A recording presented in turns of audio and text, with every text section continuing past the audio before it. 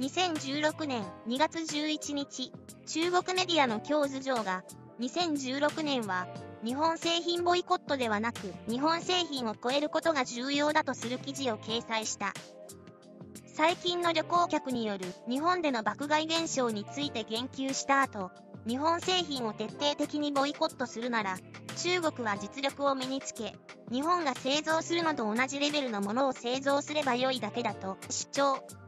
日本企業を超えるような部品や材料を製造できれば、日本企業に依頼する必要はなくなるので、自然と中国市場から日本製品が消えていくはずだと論じた。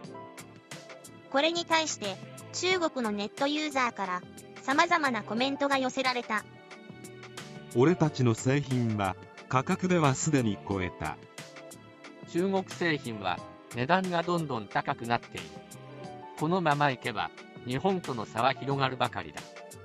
質が良くて値段が安ければ消費者が選択するのは当然のこと超えろといえば超えられるものなのか？教育は30年間変わっていないのにどうやって人材を輩出するというのだ？中国製品の質が良くなれば自然と日本製品を買わなくなる。スマホがいい例。